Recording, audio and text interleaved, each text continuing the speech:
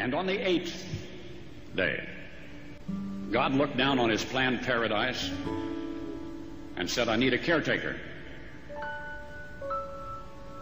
So God made a farmer. I need somebody who can shape an axe handle from a persimmon sprout, shoe a horse with a hunk of car tire, who can make harness out of hay wire, feed sacks, and shoe scraps, who planting time and harvest season will finish his 40 hour week by Tuesday noon, and then painin' from tractor back put in another 72 hours. So God made a farmer.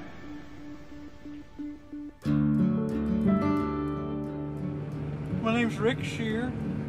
Uh, name of my farm operation is Circle S Farms. My dad and I started that partnership uh, over 40 years ago.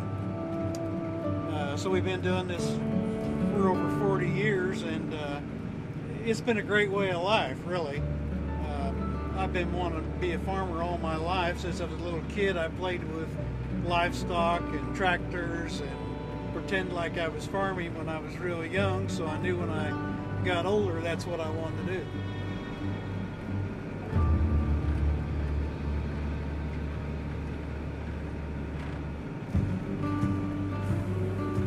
I, I've been around it my entire life. My family's been here since 1883. I'm not sure which generation I am. I'm number six or seven. Um, it's just been a part of my life. It's been a part of my family's life, and um, we all really enjoy doing it. I, it's just something I really love doing. It, I couldn't sit in an office eight hours a day and and all of that. I, I really enjoy getting out and cutting wheat. I like the high pace kind of tempo of it.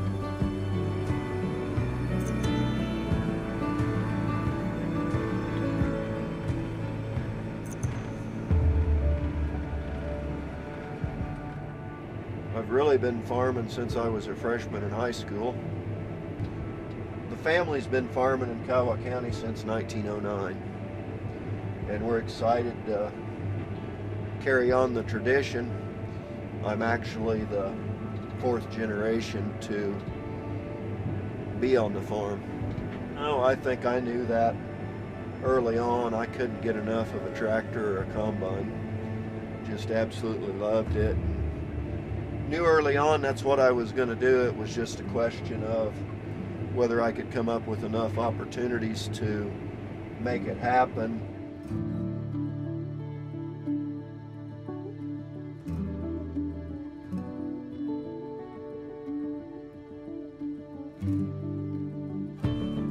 Wheat harvest is, uh, you know, you you planted this wheat, and you waited for it to come up and see what it was going to do. You know, things like that, and family coming out, uh, harvesting. It's it's a fun time. Wife's always prepared meals. You know, grandkids come out, ride the combine with us. Give them the opportunity to, to see something different that they've never seen before. I find it to be a very rewarding experience to work with your family. And I mean, we all work so hard and we're so close knit. And you know, during this part of the year, sometimes we get tired of each other, we want some time away.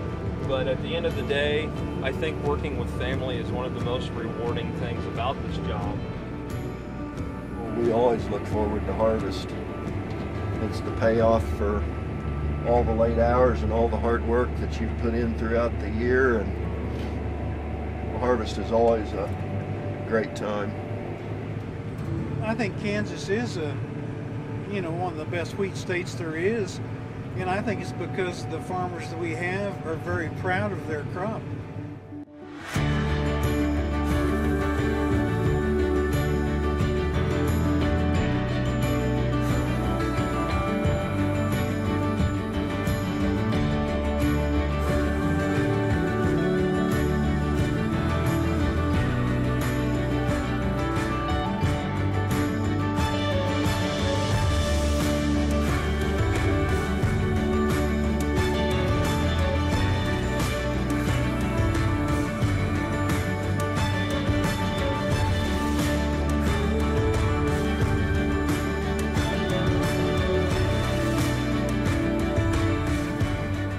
Somebody who'd plow deep and straight and not cut corners. Somebody to seed, weed, feed, breed, and rake and disc and plow and plant and tie the fleece and strain the milk and replenish the self feeder and finish a hard week's work with a five mile drive to church. Somebody who'd bale a family together with the soft, strong bonds of sharing. Who would laugh and then sigh and then reply with smiling eyes when his son says that he wants to spend his life doing what dad does. So God made a farmer.